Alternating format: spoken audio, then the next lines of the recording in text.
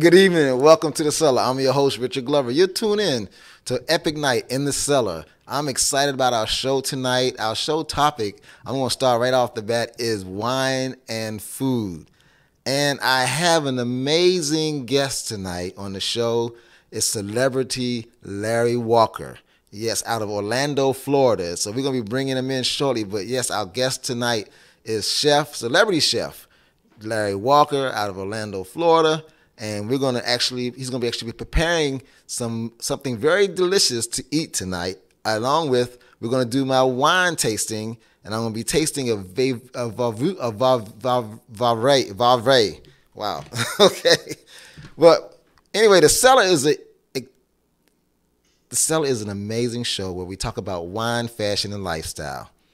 The cellar is an innovative form inciting provocative conversation about wine fashion, and lifestyle, and luxurious lifestyle of the wine consumer. Tonight, we're going to have a great show. We got our girl in the, from Detroit. She's tuned in already, and she's going to talk to you about glam with our glam with Malia segment. So let's go right to it. Our glam with Malia segment. Malia, how are you doing? Hi, I'm good. How are you?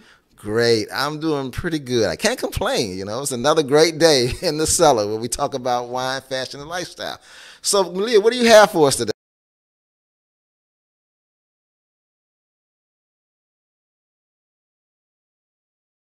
a lot of girls watch watch TikTok, so I'm going to be talking about the two top um, hairstyles that most people are interested. Super cute, super easy to do. I mean, those are my favorites. But yes, so let me get started. So the first two topics I usually do is like little waves. So right now in my hair, it's kind of like a loose waves where you don't really curl the ends, you kind of do like these tight little curls, let them sit in just for a little bit, and then you brush them out. They have these luscious little waves that will always stay in your hair no matter what, if it's humid, if it's not humid, if you just want like a really cute like Florida look or something easy and breezy where you can brush it out the next day. Um, that hairstyle is so perfect. I mean, I do it for pageants. I do it for like I even I'll even do it for Miami this year. Um, so yeah, you can just take a one inch like curling iron, either one. I have the FoxyBae one. I got it at Marshalls for about twenty dollars. So yep, like I said before, you just take it, curl it, and then you just keep the ends out for maybe fifteen to twenty seconds, and then your hair is luscious. Spray it a little bit with some heat protectant and hairspray and all that fun stuff. The second one that I love and I'm getting obsessed with, and most girls are using, is like a bubble curl or a bubble like ponytail. So, kind of what you do is you put your hair up in a ponytail. So, yep, right now is like my luscious curls, my luscious slash wave curls, how I do my hair, either for the segment or anything fun like that.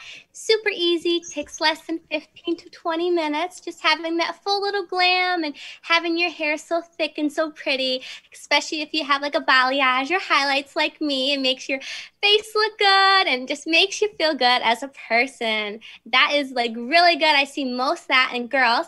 This is the ponytail bubbles. So kind of what you do is you put your hair in a ponytail. You get these clear little elastics and then all you do is just kind of make it look cute, little bubbles perfect for spring, summer, if it's a little humid and you don't want to like, you know, sweat and make your hair all dirty. That is a perfect style. I know all my friends are doing it. So yeah, those are the top two ones for summer 2021. No matter what, if you're going on a vacation or anything else, you want to look so glam, glam like Malia, that would be it. So yes, Richard, that is my segment. TikTok cute hairstyles.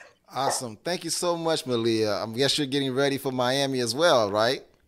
I am. I already started packing. I am all good to go. awesome. Well, we're going to be broadcasting live in Miami doing the Miss Bikini pageant and the Miami Swim Week. So on that, that Thursday, which is July the 8th, so we're gonna have a great time there. We got some camera equipment is gonna be down there, and of course, the FIBA's gonna be here in the studio. We're looking forward to that. So don't don't everybody just don't go nowhere. Just be wait be ready to see all the great stuff that we're gonna do. We're gonna be interviewing some of the pageant former pageant queens and some of the girls who are comp- competing to be the new uh, Miss Bikini uh, United States, Miss Bikini model, and Miss Bikini Miss Bikini Fitness. So yes, we'll be down there in person together, Malia. Looking forward to it amazing time down there. I can't wait. awesome, great, awesome. I'll talk to you soon. So I want to take a time break right now. This is actually uh, African American Music Appreciation Month, and I wanted to kind of share different.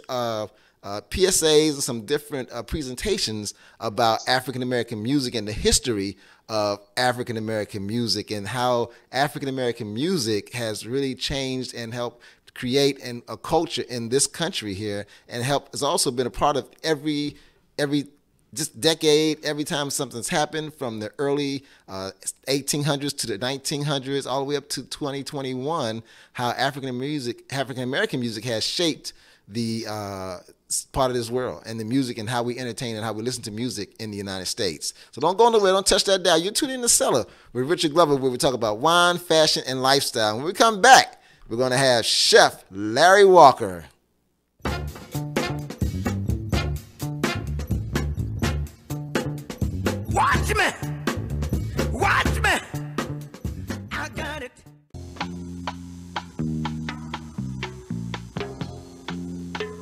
Curtis Mayfield isn't the most famous musician of the rock era, but he's one of the most influential. He brought the civil rights movement to the center of American pop music. From People Get Ready to Superfly, Curtis changed the idea of what a hit record could be. Tom Joyner, Live Job on Power 107.5 GCI. Now there are no more personalities. That's why I can hold down two jobs in, in, in two cities because personality works when you can find it. But there's no breeding ground for personalities anymore. I came along at a time when they were still encouraging DJs to be personalities, to say something on the radio, say, to say something that would that would touch someone, either you know touch their hearts, uh, you know make them smile or whatever. You say something to make people listen. That doesn't that doesn't happen anymore. There was some talk about he had done this strange album and nobody knew what it was and it was different. It didn't have um, singles on it. It wasn't kind of driven by pop hits. It was a concept album and nobody quite knew what that meant. When he was doing it, I would go to his house and I'd be sitting there and he would just say, Small, this album is being written by God. He said, I'm just the instrument. I'm sitting here at the piano, but God is writing this album. Mother, mother. The project was What's Going On? You'd go to Soul Train and you'd see black people on the floor, PAs, and black floor managers and black directors. You didn't see that anywhere else.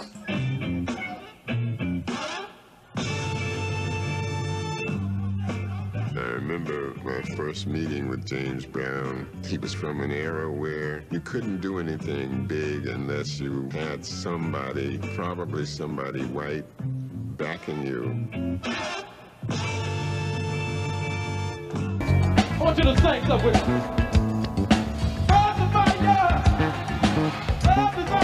me.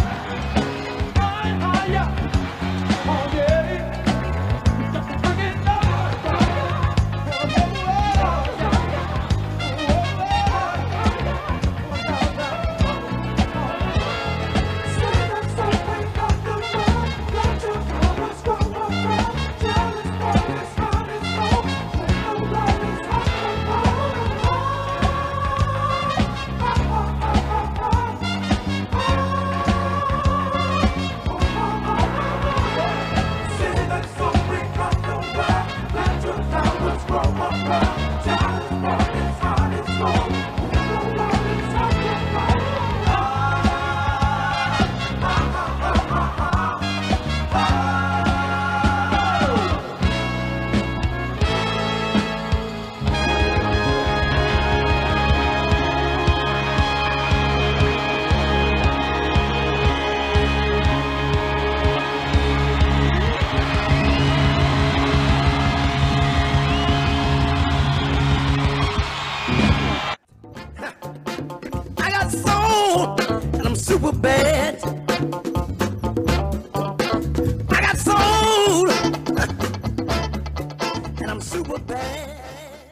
Welcome back to the cell. I'm your host, Richard Glover. We talk about wine, fashion, and lifestyle. And like I said, tonight I have an amazing guest from Orlando, Florida.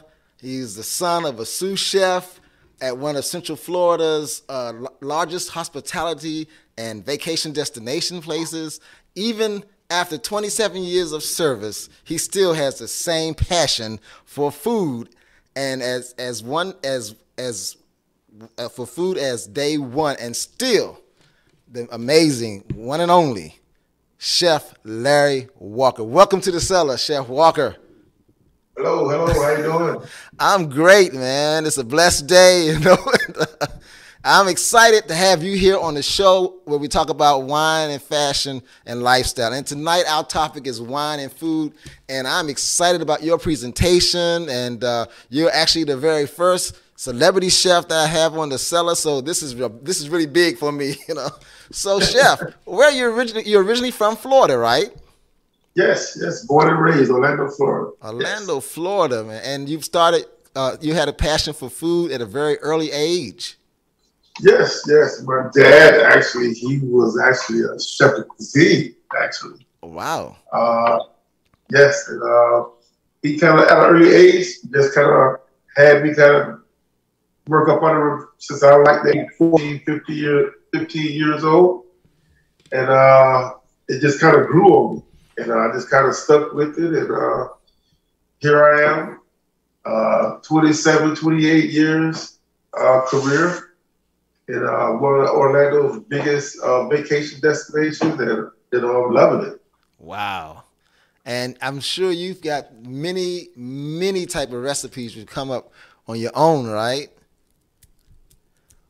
Yes, yes, definitely. I think uh, you know, I, I, I think everybody can. Uh, everybody has their own distinguished flavors that they like. So it's just a matter of uh, what flavor profile you like, and then just kind of playing around with that. And uh, I think everybody can create a masterpiece. Absolutely. So you know, I want to kind of understand. So for me, when people ask me, they say, "Richard, you're a wine sommelier, and what is your favorite, or what is your go-to wines, or what kind of wines would you say would match the, your personality?" So I'm going to put, I'm going to pose that question as a, as a chef, you know, and if you've done, I'm sure you've done many different types of recipes, and you've been many places, and you have different, different. And I, I don't know I'm not- if I'm using the right word, but I would say genres of, of food because there's so many different types of food. Uh-huh. You know, what would be your go-to? Uh, my go-to. Wow. That's what I I love doing this. Uh, I love doing a pork tenderloin with uh, like an apple puree. Wow. Uh, that is uh, kind of like my go-to. Mm-hmm. Uh, it is kind of finished off with like a little. Uh, they call it the black jade, which is an Ethiopian ch- chutney. Has uh, like nuts and raisins and dried fruit. Okay. So uh, my my thing is I, I kind of tell people that uh, you want to go for the M&M effect. Uh, M&M effect being like the peanut M&Ms. You have uh, sweet, salty, crunchy, uh, you know, chewy. Uh, when you kind of got all those things working for you, you're bound to have a great deal. Wow. So let me ask you a question. If so, you had a passion from a very early age, but what about those folks that may Yes, not have had that passion in the beginning, but they see you know the works of many chefs all around the world. They see it's, it's you got the food, the what the Food TV network.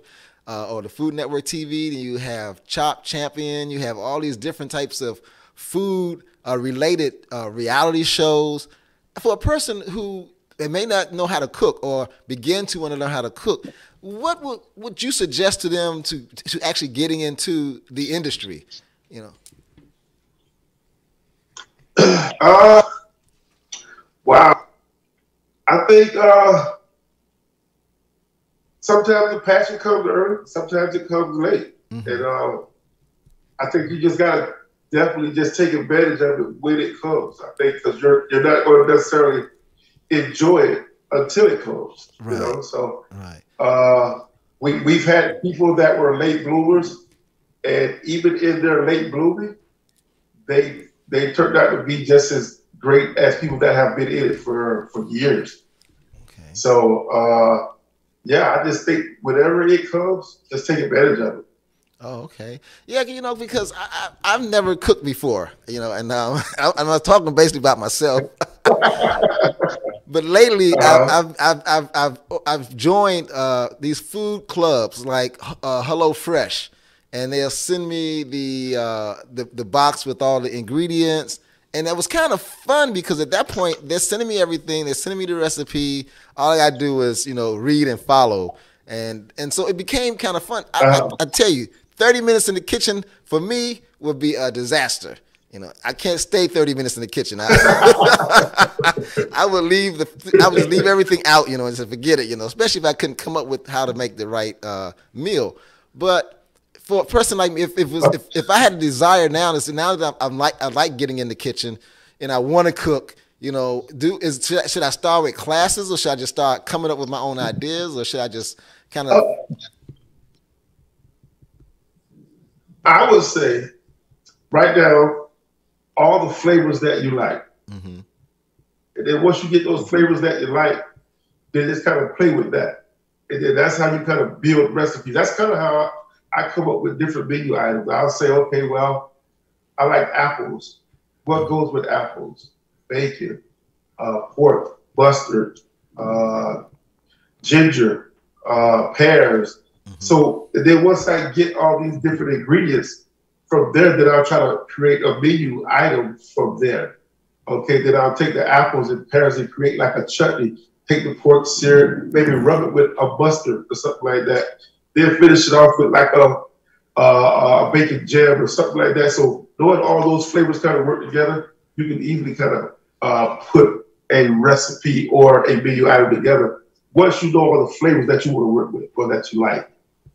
Oh, okay. So now I know once you once you complete a meal and you see the people enjoying it, is that like a great feeling to know that people are, uh, are saying, "Wow, this was delicious," or you know, "How can I how can I get this again?" You know, uh, it, what is that feeling like? You know, to see that people that's because it's your masterpiece. You know, what is that feeling like that, when people? That is the greatest feeling, actually.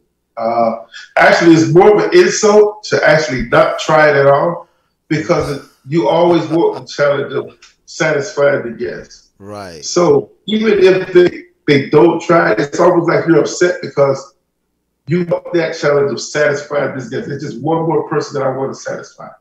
Wow. You know? Yeah. But yes, that that that satisfaction of knowing that somebody enjoyed something that you just created that your labor wasn't in vain, it's, it's, it's an awesome feeling. Awesome, man. You know, I see you got the whole thing set up there. You know, like in, in your, your studio. You know, and uh, uh, so so what about what what are we going to be enjoy? What are we? Well, we won't be able to taste it, but just to see you do the magic there, you know, that's important. That's important to me to just see the magic, you know, and I'm sure just seeing the magic is enough that's going to allow me to be able to kind of imagine what it tastes like, you know. Um, so, you know, so what are we going to do tonight? So it's playing uh, fish and grits. So, you know, we uh, always tend to, with soul food, go a little heavy.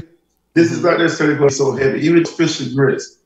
The blackened salmon, we're going to do uh, some grits, antebellum grits, grits that are done like done way back in Civil War times. Wow. Uh, finished off with uh, uh, smoked tomato jam, a saffron aioli, and uh, we have uh, some, uh, excuse me, some Brussels sprout petals that are going to be poached in a uh, chicken stock.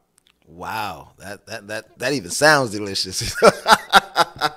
we don't go nowhere. We're gonna take a quick break. We're gonna do, of course, this, tonight we're also celebrating uh, African American History Month. This is June, and we're into the last week of African American History Month as we celebrate and appreciate the music of Black America and how the music has helped change and redefine and changed again and redefined again America as it is today. So don't go nowhere. We have celebrity chef Larry Walker. We're going to get into uh, this amazing meal he's going to make tonight. We're going to also taste the wine with it. You tuned in to the cellar with Richard Glover, where we talk about wine, fashion, and lifestyle. Don't go nowhere. Don't touch that dial. Don't move away from that computer top, or don't even go off of that TV that you're watching us on on YouTube. And by the way, if you're on YouTube and you're watching the show, if you could do me a great favor and go to that red button that says subscribe and then put a, put the thumbs up if you like the show. When you go to that button, hit subscribe. You'll be tuned into all the amazing events that are coming up now. as things are opening up around the United States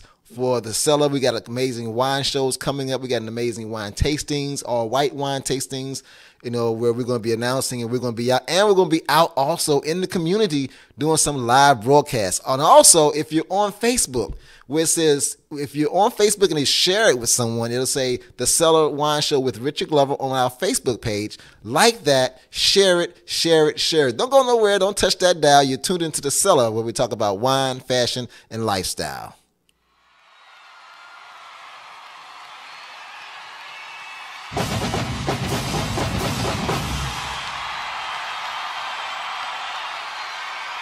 Telling y'all already.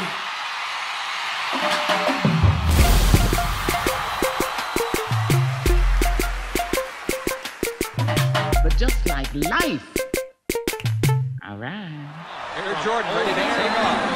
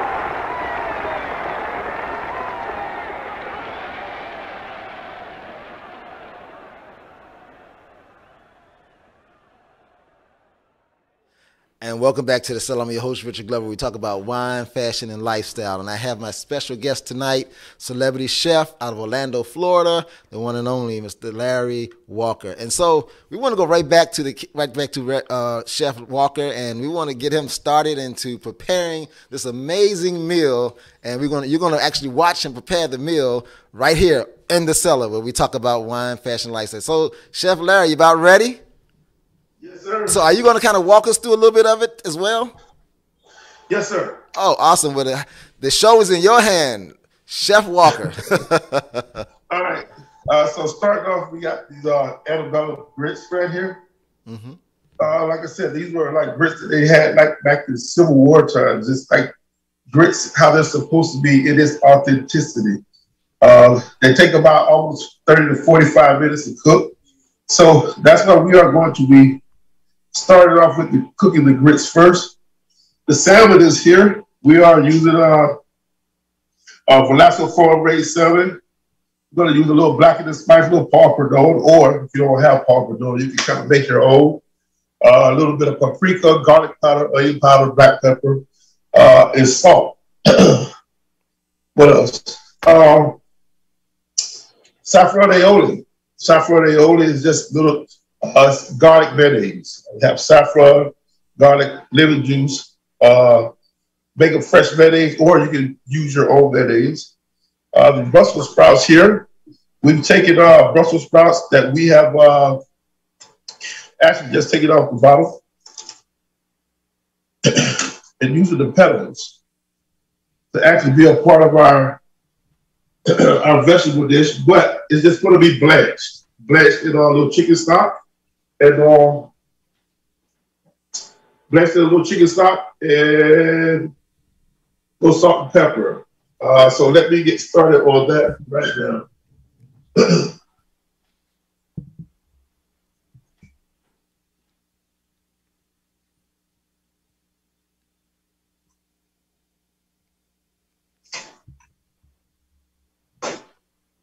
Oh. Excuse me, guys. Right now, we're just waiting on the uh, water to get a little hot so we can start uh, our grits. And then after that, we just got our celery here that we're going to wait and we're going to sear that in a minute. So, excuse me. Oh, God.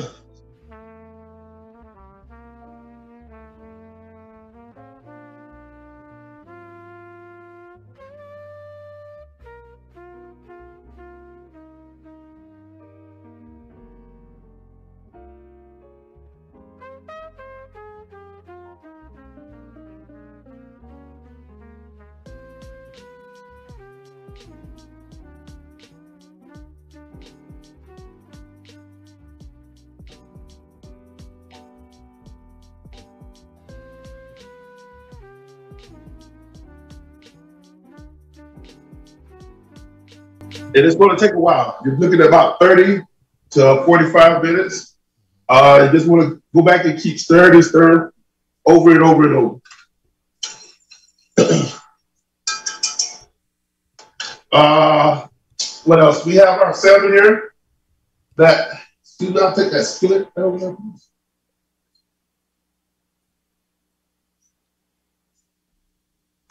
So while the grits are cooking, we're going to get this cast iron skillet really, really hot so we can get ready to sear this salmon. uh, but like I said, for once again, this is going to take about a good 30 minutes. Uh, and we're just pretty much, if you got time, just kind of, if you want to have a little glass of wine, uh, sit down and kind of watch a little TV for a little bit, you can do that. But just never lose focus on the grits because they're going to need your constant attention. Okay. And these grits, once again, they're like coarse ground grits. They're uh, they've been uh, like coarse ground as far as they're not really like like processed like the other grits. They take a lot of real like five minute grits. So these are already been like processed, been part cooked. So that's why they take like five minutes. These are all in their natural form and their authenticity, and that's how you want to fry that. Is it better to use those type of grits than to use the processed ones?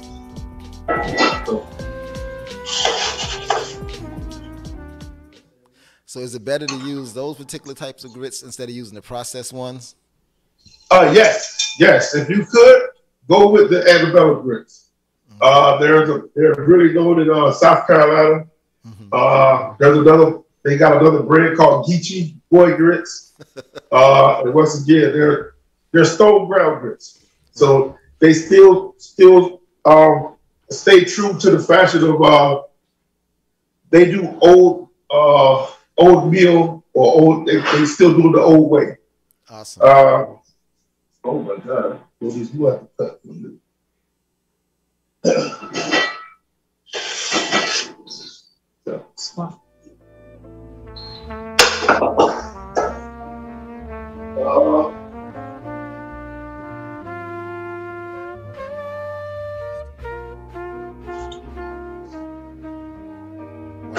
While you're cooking, we put on some nice cooking music for you.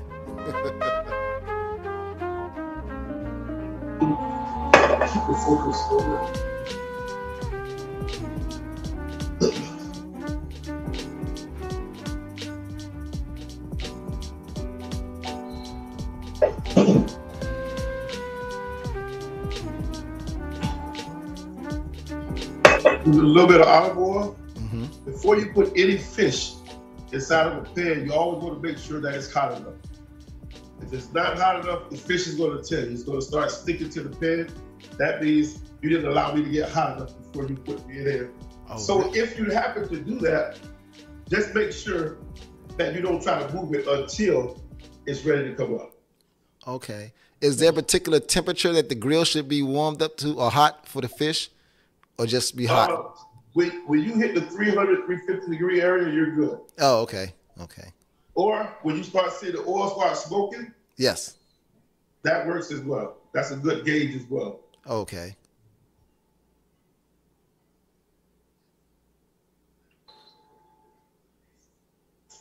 And when you hear that, you're you're in a good place as well. Awesome. When you, hear- when you hear that sear, Yes, I heard that. Yeah.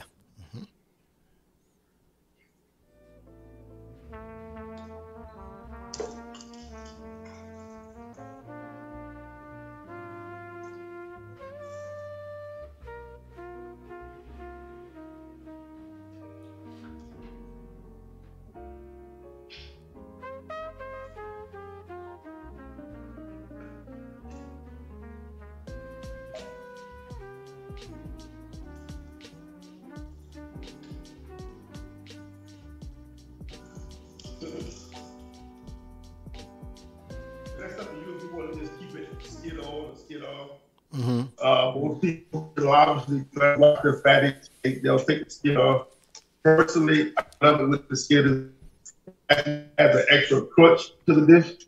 Right. So, yeah. Yeah. Was- with salmon, you want to cook it at least up to uh, medium. okay. Uh, I know some some people that like it medium rare. Really? And pretty much with any fish that you can eat as sushi or sushi, you can actually eat it like that, so that's fine. Oh, okay. I, I didn't even know that the, the salmon could be done medium rare or, or full, or fully well cooked. Oh, okay. Yes, yes, definitely. I was. Uh, go ahead. I'm sorry. no, I just, I just, I thought that was only in uh, steak. Yeah. Uh, so yeah, medium rare, medium. Uh, anything more than that, you're, you're, you're taking a chance to, of drying it out. awesome. Great.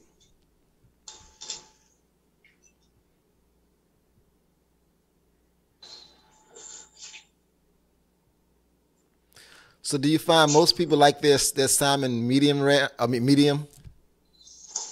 Well, uh, I, most people like it medium. Okay. Uh, I know, you know, our culture, we tend to like it a little bit more on the medium well side. Right. But uh, you kind of, as the, the more you cook it, you start losing the flavor of whatever it is that you're, the protein that you're making, the vegetables that you're making. Okay. Uh, as you start to just just take all those minerals and vitamins and all that stuff out of there, it, you're just killing everything that that that, that item was meant for, that protein or that vegetable was meant, you were meant to have. You know?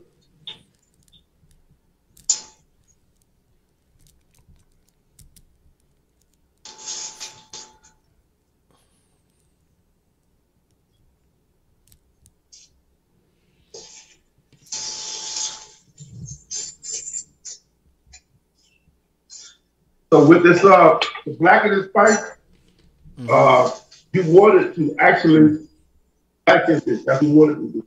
Because the spice was blended together for it to actually create this nice Right. uh caramelization that oh, the true flavor of it unless the fish is actually blackened. Oh, okay. So the salmon. Like that. So that's that's not burnt. That's actually blackened. That's why they call it that. Oh, the spices okay. that are put together, the spices that are put together, Yes. actually, when it gets on, when it makes contact with high heat, Wow. that's what creates that blackening. Oh, okay. I, I, I was I was about that was going to be my third question. You know, how do they make blackened salmon? I mean, you know, that's that's amazing. Yes. You know, certain spices, when they get make contact with high heat, Oh, okay. they create that blackening look, like paprika, garlic powder, onion powder. When they make contact with high heat, they create the blackening uh, effect. Awesome. Awesome.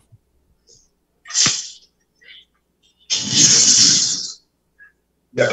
So that's exactly what you want when you see that. Wow. It looks it looks delicious already. And actually, what we'll do, yes.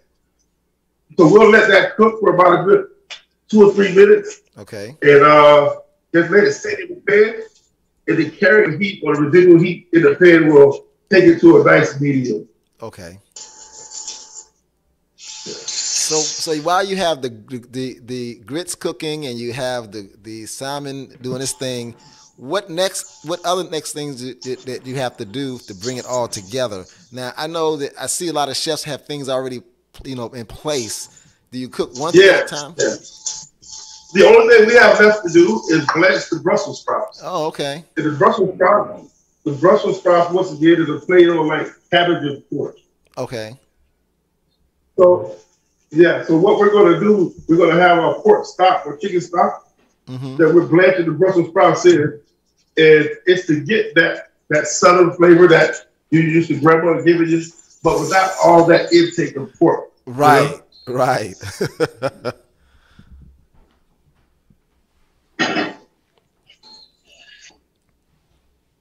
So that this is this is our our chicken stock. okay. Yeah. And the only reason I add a little bit of oil is for the look. With the Brussels sprouts, when they blanch in there, Right. they come out, and give it a nice little sheen. And we're almost ready to plate in about a good two or three minutes. Wow.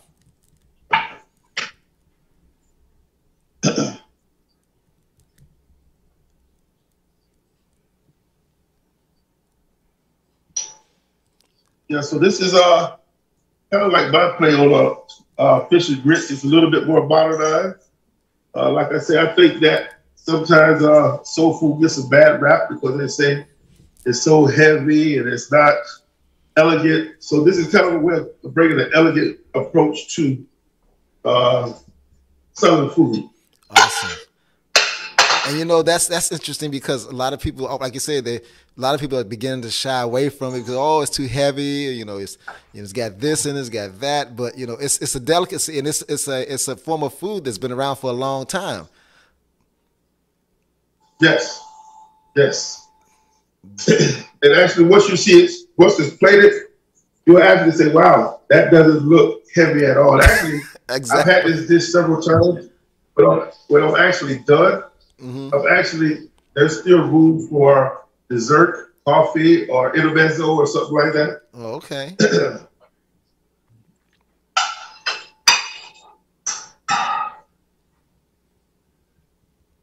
So as soon as this comes to a boil, Mm-hmm. all we're gonna do with this, just take the Brussels sprout petals. and You want to make sure that it keeps it nice and vibrant, still crunchy. Blanch it in there, take it out, and then uh, we'll be replate this dish. Awesome. Actually, what we'll do, we'll have these to drain off the excess liquid.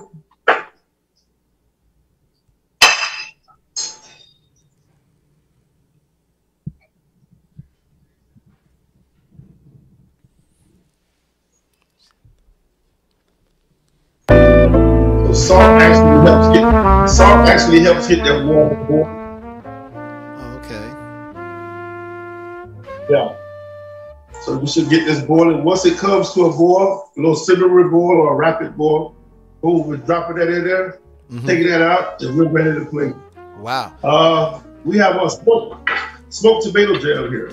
Uh huh. And all you're doing with that, taking tomatoes, onions, uh, garlic, uh, thyme, vinegar, and sugar. And you're just reducing that down until it becomes to a jam consistency. Wow. Uh, I recommend not using uh, little baby tomatoes because the skin is still a little bit too tough where it doesn't actually break down. So you can have it, but the skin, you'll still see the skin in there. So get you some nice Roma tomatoes.